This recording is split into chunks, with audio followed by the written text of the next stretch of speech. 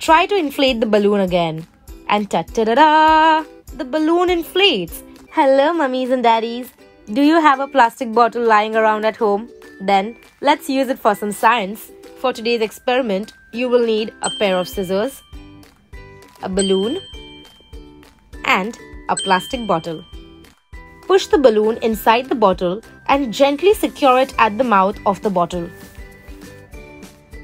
Now, try to inflate the balloon by blowing into the bottle. What do you observe?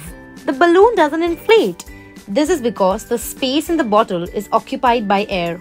Hence, the balloon cannot expand. Now, it's time to carefully use a pair of scissors and pierce a hole in the bottle. Try to inflate the balloon again. And ta ta da da! The balloon inflates. This is because the air in the bottle can escape through that tiny hole, giving a balloon the space it requires to expand. And today, I've got a special pro tip to make this experiment even more fun. After you inflate the balloon, cover the hole with your finger. What do you think will happen? Let us know in the comments below.